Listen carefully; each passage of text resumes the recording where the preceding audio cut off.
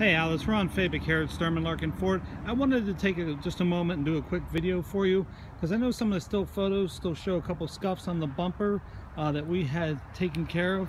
Uh, just some touch-up work on the paint. Let you get a good look of the car. I know sometimes it's hard to tell. There is the sunroof that you asked about, the leather interior. It has the GPS navigation.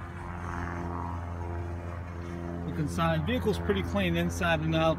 Like I said, it had a couple of scuffs on the bumper, so we had our paint guy take care of those, so now she's looking perfect. Around to the passenger side here. Like I said, we reduced this online to 13988 all-wheel drive V6. I'll get this to you in just a few minutes. Thank you very much.